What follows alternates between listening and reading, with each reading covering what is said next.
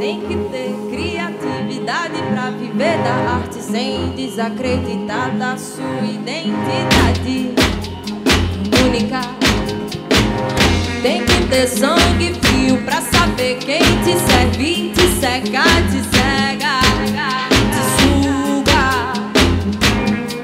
Tem que ter desapego pra dizer não. Tem que ter brilho nos olhos pra dizer sim.